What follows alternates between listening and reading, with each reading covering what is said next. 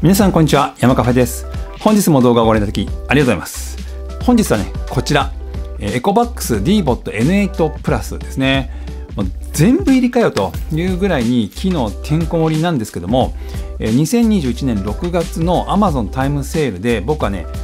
5万円台で買ってるんですよ。これはね本当にね手に入れやすい価格だなと思いますね。でこちら僕の2021年上半期の買ってよかったものにもランクインしておるものでございます。ということで2ヶ月以上ね使った中でのレビューということで行ってみましょう。まずはね機能のチェックから。エコバックス DBOT N8 プラス。マッピング機能により効率よく家中を掃除。1台で吸引と水拭き対応。最大吸引力は 2300PA ダストボックス内部のゴミを自動排出。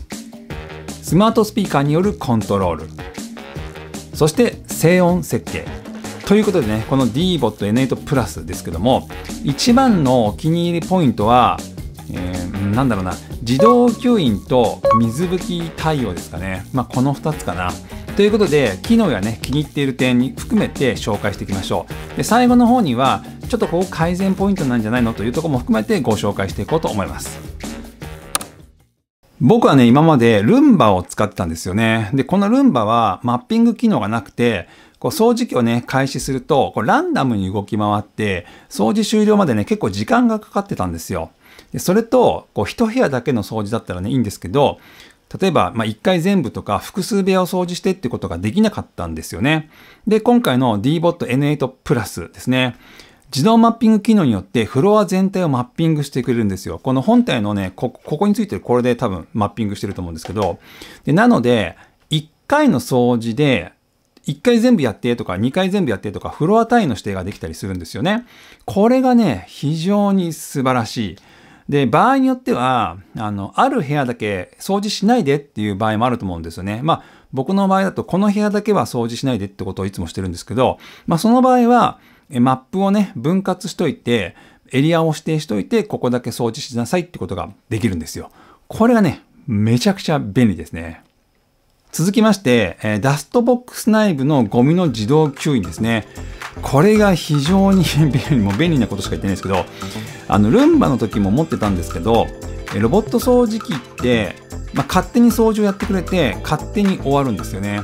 でなので、まあ、気づいたら掃除終わってるっていうことなんですけどその終わった後にですね最後一工程ダストボックスの中のゴミを捨てるっていう作業があるんですよ。これがね思いのほかめんどくさいんですよね。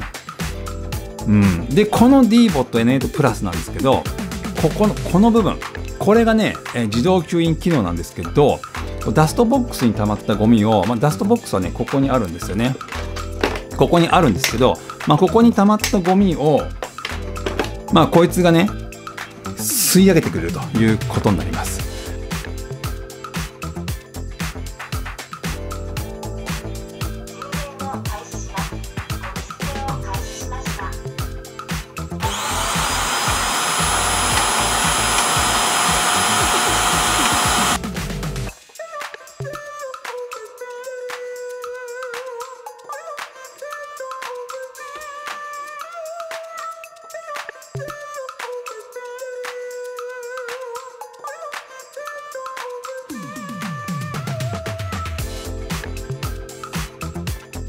これがねめちゃくちゃ手間が省けて便利なんですよね。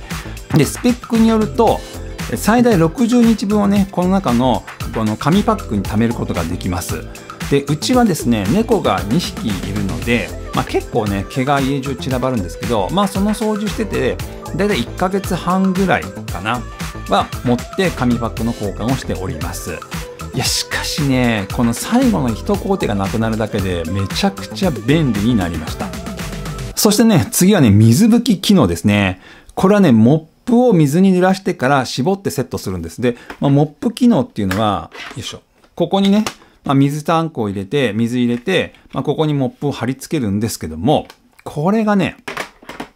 モッププレートが取り付けられました。まあ、いちいち喋るんですけどね。まあ、これがめちゃくちゃ便利。いや、この機能を待ってたんですよね。で、うちはですね、基本的に、まあ、家族全員裸足で過ごしてるんですけど、夏は床がね、ペタペタするんですよ。まあ、これ皮脂がついてると思うんですけど、それからペットね、えー、我が家はね、猫の他にも犬も実はいます。で、犬もいるので、やっぱね、床の汚れってのは気になるところではあるんですよね。で、それがこの水拭き機能を使って、まあ、解決するわけですよ。で、この掃除機が来るまでは、えっとね、モップ、モップで床を掃除してました。これが ね、めんどくさいんですよね。あの、水溜めて絞ってモップがけするって、この工程がめんどくさいわけですよ。で、これが自動でできちゃうっていうのが素晴らしいです。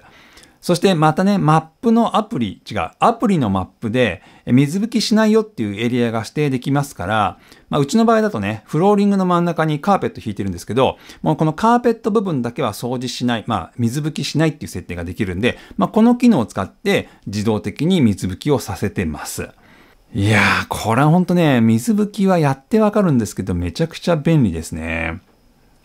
そしてね、地味に嬉しいのが、まあ、動作音が割と静かってことですね。まあ、掃除機って普通に生活している中で動き回るものなので、うるさいとね、ほんと邪魔になっちゃうんですけど、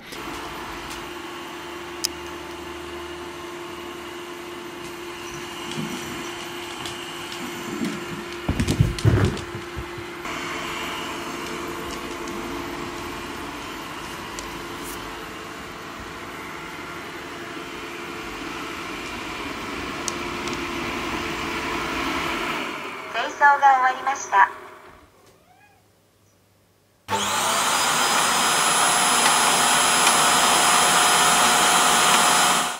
まあ、この DBOT ネ N8 プラスは、まあ、体感ですけど、まあ、僕の感想ですけどね、まあ、そんなにうるさくなくて、まあ、適当にかかってても、まあ、あの、なんだろうな、仕事しててもあまり気にならないような感じではありますね。でですね、次に、まあ、改善してほしいなと思うとこなんですけど、まずはね、アプリ。アプリなんですよ。なんかね、使いにくいんですよ。こうごめんなさい直感的 で感覚でしか言ってなくて申し訳ないんですけど UI が良くないのかなと思うんですよねで2021年上半期買ってよかったものの時にもう言ったんですけどなんかまず最初にね日本語がひどかったでこれはねだいぶ改善されてきてて、えーと、使っていくうちにねどんどん改善されてるんですよ特にトップ画面で、えーとその掃除機の設定に入るところが分かりやすくなってます。今設定画面へ移動というちゃんとねちゃんとした日本語になってる感じですね。あとはねなんかねここにこの機能あるかなと思ってもなかったりするんですよね。例えば、えっと、水拭き禁止とかにしたエリアの設定っていうのは、まあ、マップの番号っていうか押したりするんですけどなんかね境界仮想境界線っていうとこで、えっと、水拭きエリア禁止とかってやるんですけど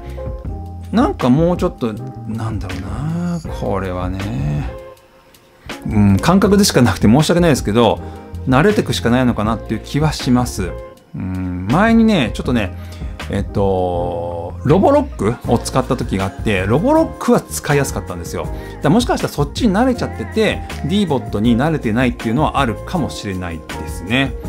うんまあ、ただ掃除するときは基本的に Amazon 以降に掃除してって言って終わっちゃうんでまあまあ、あんまりね、気にならないかもしれないですね。あとは一度設定終わっちゃえば、えっ、ー、と、掃除するとか、エリア指定だけして掃除するとかっていう単純オペレーションになるので、あんまりね、気にならないかもしれないですね。次にですね、時々なんですけど、なんかね、絨毯部分で引っかかってね、あのホームに戻ってこれない時があるんですよね。なんか静かだなと思って見に行くと、なんか止まってるっていうことがあります。まあ、うちのね、絨毯のところが、あまり良くないのかなっていう気もするんですけど、まあそういうことがありました。それからね、水拭き機能、めちゃくちゃ便利なんですけど、えっ、ー、とね、うちは若干面倒ですね。あのさっき言った通り、フローリングの真ん中にカーペット引いてるんですけど、最初はね、これモップをつけずに掃除するんですよ。掃除が一回終わってから、モップをセットしてから水拭きをするようにしてます。で、なぜかというと、ここにね、モップがつくんですけど、こうモップつけたままだと、濡れるんですよね。濡れちゃうんで、えー、2回はに分けて掃除してます。まあ、絨毯が来た時は濡れないような仕組みになっていればいいんでしょうけど、まあ、地味にね、ここはまあしょうがないのかなと思うんですけど、まあ、できれば何かしら対策ができるといいかなという気はしてます。はい。というまあ感じですね。まあロボット掃除機の良さって使ったことがある人は本当にわかると思うんですけど、一回使っちゃうとね、手放せなくなるんですよね。で特にねペットを飼っているご家庭ではいや本当ね必需品じゃないかなという気はします。